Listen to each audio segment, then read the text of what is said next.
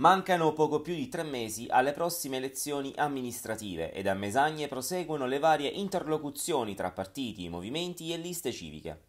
Il comune messapico al momento vede il solo sindaco uscente Toni Matarrelli quale candidato certo alla carica di primo cittadino.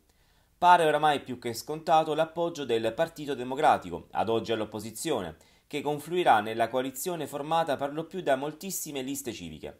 Tra queste ci sono quelle del consigliere regionale Mauro Vizzino con i suoi 16 candidati e del presidente del consiglio comunale Omar Ture, da sempre vicini a Toni Matarrelli.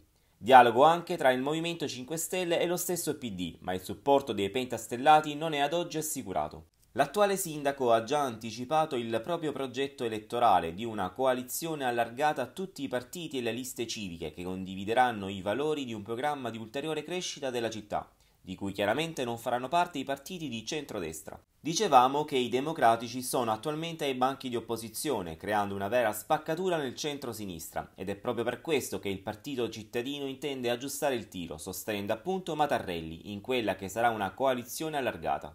Il PD intanto ha già tracciato quelle che saranno le proprie linee guida, puntando sulla valorizzazione di tutta la città senza trascurare la periferia, anche se ovviamente il centro storico rimane il fiore all'occhiello di Mesagne, e sulla zona industriale, attualmente non sfruttata a sufficienza. Nicchia invece il centrodestra, il quale sarebbe indirizzato a puntare, seppur non ancora ufficialmente, su Vincenzo Lotesoriere, espressione di Fratelli d'Italia, che dovrebbe riuscire a raccogliere consensi anche in altri bacini elettorali di centrodestra. Quest'anno dunque potrebbero non esserci 5 candidati sindaco, così come accaduto dal 2010 al 2019, e Matarrelli potrebbe essere il mattatore indiscusso di questa tornata elettorale, vincendo a mani basse.